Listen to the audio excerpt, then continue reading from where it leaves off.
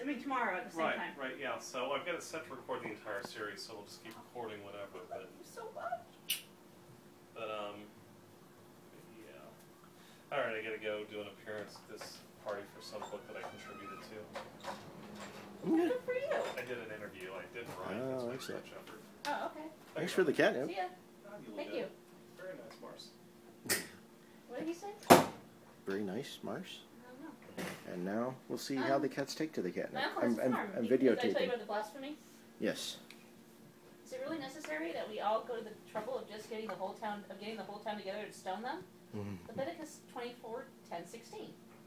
Why couldn't we just burn them to death in a private family affair like we do with people who sleep with their in-laws? Leviticus 20, 14. I know Okay, you have kitten. studied these things I know you're scared of the camera. Can I read you the rest of this? Oh, yeah, I'm, I'm just taping the kitten, who is now discovering fresh catnip. Yes. I know you have You're not sure what to do with it, are you? And enjoy Yes. considerable expertise in such matters. I know. So I'm confident you can help. It's okay. Thank you again for reminding us that God's word and is eternal and unchanging.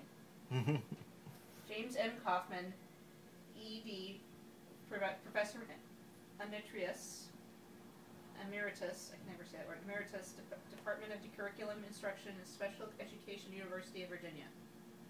It says in, in parentheses, it would be a damn shame if we couldn't own a Canadian.